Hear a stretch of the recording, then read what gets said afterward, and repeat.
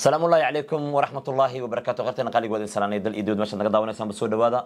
Waa mar kale iyo muuqaal cusub. Muuqaalkan muuqaaladii hore wuu ka duwan yahay wuuna ka xiisad iyo xamaasad badan yahay maadaama caawa amaba maanta ay agteeda fadhiyaan dad lejantiyaal ah oo maalmaha ama baraha bulshada zaa'id arrintooda ay u qabsatay.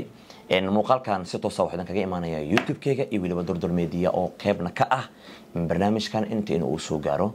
Runtii waxaan aada uga mahad miss wall maslaxo iyo saaxiibkeyga catoosh oo iga aqbalay arintan muhiimka ah in aan dadkana u soo wada gudbino aniga waan aaminsanahay shalay waxa dhacay inaysan miss wall raali ka ahayn maslaxana aysan raali ka ahayn catooshna uusan raali ka ahayn mana jira nin jecel xaaskiisa inuu ku soo dayay dadka in ay dhibaatayso. Mana jirto hooyo raali ka ah gabadheeda in iyada dhibaato loo geysto amaba ay jeclaato in gabar kaleo hooyo kale ay dhashay inay dhibaato u geysato. Aniga maamasaar waas aragna waa sheekeysanay. Gabadheeda way aaminsan tahay waxayna mar walba jeceshahay gabadheeda inay u dhowrsanaato qof biniadan inuu ku xadgudbo ma jeclo. In iidan lagu xadgudbana raali kama ahan. Waa sida annagoo dhan aan wada jecelnahay markii intaas aan ka soo tago maanta waxaan meeshaan wada fadhino waa dareemi kartiin. Waa mar kale iyo heshiis aan u wadno in aan ka dhexdhalin labadan gabdho walaalahayga ah. Intaan taas aysan dhicin marka hore waxaan siinayaa hadalka soo dhawo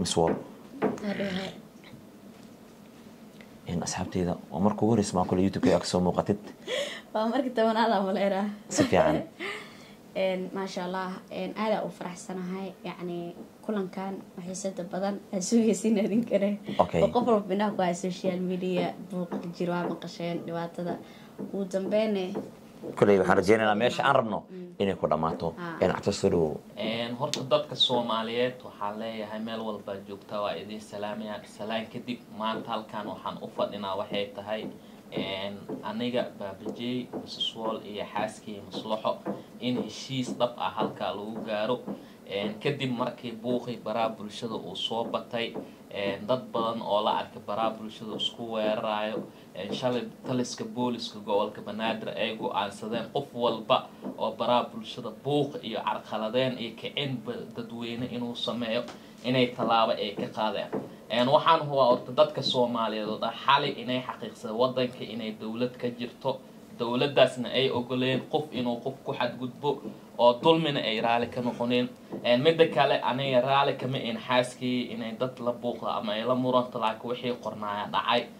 Ugu dambeyn saldhigii waxaas waa ka soo dhammaanay labadii gabdhood maanta laga bilaabo waxaa rabnaa in nabad ay ka dhalato.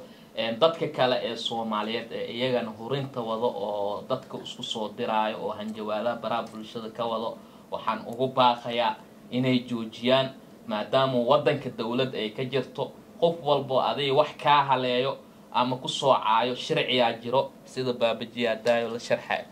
Waxaa jiro qodobo oo tusay taliyaha saldhiga waa beri. Ismaaciil aad baan ugu mahad celinayaa waxaan sidoo kale u mahad celinayaa taliyaha degmada holwadaag najiib iyo farxaan qaroo laba. Arrintan ka soo wada shaqeeyey diyaarna u ah qof walboo carqalad ku wada baraha bulshada ama ha laga gardarnaado ama ha gardarnaado qofkii xadgudub sameeyo in tallaabo sharci laga qaadi doono. Sida qodobka uu ahaa afar boqol konton iyo kow xeerkiisa waxa uu dhigayaa qof ku jiro baraha bulshada. Haddii aad fariin ku soo aflagaadeyso ama taleefon aad ka soo wacdo amaba sawirkiisa aad soo qaato ama muuqaal aad u soo duubto ama waxyaabo sumcadiisa baabi'inaya aad samayso oona ku soo dacweeyo hal markhaati haddii uu joogo ganax wuu ka badanayaa kun dolar iyo wax ka badan. Haddii markhaati la waayo oo cadeyntaada la keeno inay sax tahay waxaan adiga inaad samaysayna qofka hal sano aa lagu xukumaa. Marka inay taas dhacdaan anaga ma dooneyno dadka baraha bulshada dhibaatada ka wada waxaan ka codsanaynaa inaysan xadgudub ku sameynin wadanka dad badan oo commenti ku soo qoray waan arkay qofkii dagaal raba ha imaado muqdisho dagaal ha ku sameeyo. Qofka hore meesha ku balansada ha garaaco. Muqdisho meel lagu dagaalamo ma aha. Annaga wadankeena uma rabno sumcad xumo. Dowladaa ka jirto. Annaga maanta waxaana la dareensiiyey sharciga in uu shaqaynayo ana ma rabo gabadhaan in lagu xadgudbo. Gabadhaan in lagu xadgudbona ma rabo waxaa la siduu carab ku badbaadaa ilkana ay xeero ku xagtaan. Wax walba waxaa la dhahaa hoosaa loo dhaqaa. Ani ma rabin arrintan inta inay soo gaarto. Shalay waa wacay ciidana waa wacay. Waxaan rabay arrintan in si hoose aan u xaliyo. Way dhici weyse horta semberi waxaa dhacaya wixii qoran. Shalay kuma tashanaynin iyadoo leef ku jirto lagu qabana kuma tashanaynin waxay u soo dirtay jk maadaama taageer u tahay inay salaanto. Waxay umalinaysa in baranki lagu sameynayo weliba baranki in aan ku sameynayo umalinaysa iyada. Laakiin baranki maahan arrintaas dhabay ahayd qof kasta oo ku xadgudba sharciga in tallaabo laga qaaday taas caddeyn u tahay. Midda kale waalidiinta iyo dadka mas'uuliyiinta iyo taageerayaasha si weyn ugu niijabsanaay xalina aan ku qanacsaneyn horta qof dowladda amarkeeda ka weyn ma jiro qof walba sharcigaa xukumaayo. Waxaana fariin loo diraa dadka kale iyagana ku dhiiranaa dhowkal maadaama labadan ruux ayiin laba ruux caan ah. Boqolaal dadweyne kumanaan dadweyne ay ku xiran yihiin. Maanta maslax iyo masiswool iyo anigii baabaji hadalkeena meel dheer uu gaara. In la dareensiiyo inay dad xasaanad leh ay yihiin. Waxaa layaa maanta baabaji hadduu dagaal ku baaqo in kacdoon uu dhasho. Taas ayay ka anigana raali kama ahayn. Maslax suu dhow waa dhawahay horta waxaa leeyahay meel alaal meeshaa naga daawanaysaan waan idiin salaamay soomaalina xamisaa u wada dhantihiin dagaalka aan raali kama ahayn sheedaan ana qaaday waxaan qof walba dembi wuu galaa bili aadana ahay qofoo qaladka dhicaynin malahan maanta ani inaa oo qalad galay waa ogahay inoo ani sumcadeeda u fiicnaa waa ogahay qof walba oo qalad ii galayna waa iska cafiyey laakiin inuu wadanka sharci jiro oo qof qof waxad afaare qabiilnimo inay jirin dadaa dadku isku diraayo isku licinaayo dadkaasna inuu ilaahay naga qabto sharcigana in la horkeena hadduu dadka ka baxsan waayaan oo fidno iyo foodo oo ay Ay keenaan, si bulshada ay fiican. ku wadaan hadday doo- ay joojin waayaan inuu sharciga wax ka qaban doono aniga midaas waa ku raacsanahay xiritaanka lii xirir dhib uma arkin insha allah miswaal keligeed lama xirin miswaal waa la soo qabta waa la xiray ana waa lii wacay waan tagay amarka waan qaatay waan tagay. Labadiina maxaa isku caaseenaa nagula xira anaga? Dadka kalene ha ogaadaan inaa la xiraayo ayakan hadday is caayaan misena is aflagaadeen aflagaadada la deen waayo. Ana qof dambena af cabsi alla aan ka cabsanayo iyo wadanka sharcigiisa aan dhoorayo dadkiisa aan u aamusaa hadda kadibna qof aan soo caynayo malahan maasha allah waa ka aqbalnay. Wada ku mahadsan tahay abayaday soo dhawow waxaa u baaqayaa yani dadkana taageero ama dadkana u xiran social mediaha iyo waxaa jira hadda dad badan oo yacni oo dagaal sameynayo ama ama comment ha ahaato ama dhegahadal ahaato ama life ha ahaato. Yacni oo qofkaan u hanjawaayo waa ku dilayna ama saanaan ku yeelaynaa wadanka sharcigaa jiro. Sharciga yacni ayaa wax nii qabanaya. Ha isdhihina dee dowladdii waxaas nima fiirsanayso. Waxanba nilama qaban karo waa dagaaltameerisiin baawarna ma sheegi kartin because waxaa nii adag sharciga sharcigana qof walba waxa uu baaqaa social media ku jiro oo soo hanjabaya ama dagaal diyaar u ah tallaabo sharci in laga qaado qof kasta oo dagaal diyaar u ah waa in dowladda tallaabo sharci ka qaata oo deg deg ah wallaahi aniga markaan tagayay xalay saldhiga Ah. waxa oo taliyaha i tusay muuqaal gabadh labada gabdhood is dagaalayeen mafi iyo soo maahan oo bud wataan. Ali tusay. waxaa la dhahaa maafiyo iyo gabadha kale tahay iftin labadooda wallahi muuqaalkooda la daawanayay. Qorshahana wuxuu ahaa inta degmo taliyaashooda wada shiraayeen wuxuu go'aanka ahaa in iyagana tallaabo laga qaado. Taas waxay qalad ku tahay amaba sumcad xumo ay ku tahay amaba dhibaato wadaniya ay ku tahay. booliska Mm, waxay cadaynaysaa booliska is waxba qaban karin laakiin waxaa loo sheegaya qofka noocuu raba ha ahaada qabiilkuu doona ha ka dhasho. In sharciga mar walba uusan ka weynin. Waxaan idinka codsanaynaa maadaama aad naga aqbasheenna in aad noo muujisaan labadiinaad heshiiseen inaad gacmaha isgelisaan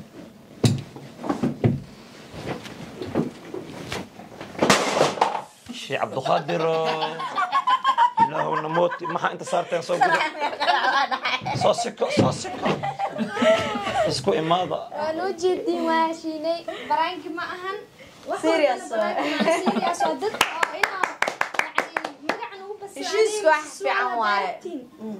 Mideeda kale haddaa isdagaashina xabsiga gelaysan ogaada horta een, ilaaha maad iska leh. Een, annaga maanta ma samayn karin. Awoodna uma lahayn intan qof inay isku yimaadaan awood uma lahayn ilaahi subxaanahu watacaala mar walba waxaa dhacay wuxuu raalli ka yahay inama almu'minuuna iqwa lah mu'miniinta oo dhan waa walaalo waxaana walaalo lagu yahay kelmadda laa ilaha illa allah maxamadu rasuulullah aniga maanta haddii dabkayga uu dinsan yahay walaal ii dhow dariskayga uu yahay ima fiirsanaayo dabkayga inuu shido ku tarinaa kan ugu badan oo ku saameyn karo dabkaaga uu shiday waxaa laga yaabaa qofka kale ku dhegay inuu u sheego dhow hebel anaa dabkiisa soo shiday anigana xumaan u arka ma ahan waxaa laga yaabaa wanaag inuu ii sameynayo qofkaas kale oo u sheegayo inuu ani oo wax ii sameeye ka sii fiican yaha laga yaabaa beri inuu wax ii keeno uu ka talinayo aniga waxaan u arki karaa marka inuu ceebteeda faafinayo ma aha. Hadal waa margi hadba dhinacii loo jiido u jiitamaa haddaad xumaan ka dhigatay erey afkeyga ka soo baxay xumaan kuu noqonaa. Haddaa wanaag u qaatana wanaagu kuu noqonaa. Dadka aan hadalkan u jeedinayo wax kale ma ahan. Waxaan u jeedinayaa dadka ku dhiirigelinaya miss wall inay maslaxa dhibaateyso ama dadka kula talinayo maslaxo inay miss wall dhibaato u geysato. kaasaa tusaale kaasina qofka kaa damqanaa horta waa waalidka waa walaalka waa ehelkaada inta ka horeyso dadka social media dadka way waalaan. Waxaa laga yaabaa dad waxaa arkaa gabdho labadooda soo kala wacaayo. Shiin culiyaab arkayso waalahay buuma haaf gaste soo da-daan jiro. iska celi. Laakiin qofka bini aadanka waxaa lahay qofka wax u taraa wuxuu ogaana markuu dembi galo uu xabsii tago in waalidka laga maarmin ehelka laga maarmin walaalkaa laga maarmin markaasaa uan qofka markaas kuu imaanaya ma aan shacab. Waxaa kuu damqanays kow hooyadaa labo aabbaha saddex ehelkaada iyo qaraabadaada iyo walaalahaada.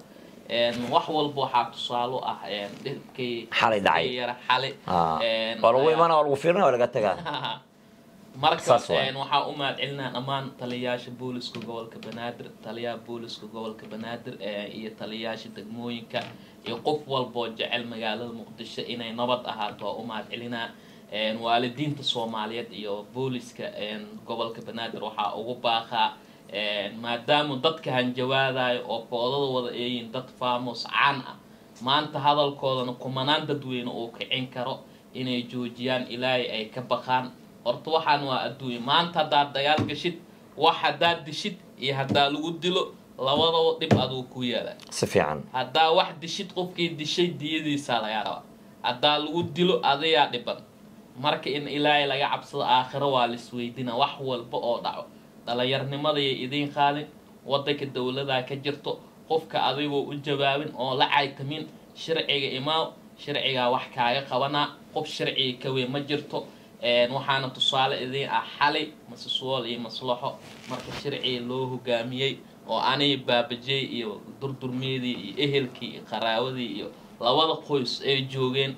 Waxa u dhibaatoona u rafaadayaa waa- waa ehelka Inta u En, midaaba jirtaba oo cadeen ahba oo waxba aan u baahnayn qofkana uu ku fahmi kara markuu caaqil yahay qofka aqliga u saaxiibka ah markuu dhib kugu dhaca waxaa ogaan kartaa qofka kuu damqanayo qofkan kuu damqanayn saaxiibkaaga iyo saaxiibka qofkaana kuu ahayn qof kuga farxaya iyo qofka cadowgaaga inta waxaad kala ogaan kartaa markuu dhib kugu dhaco.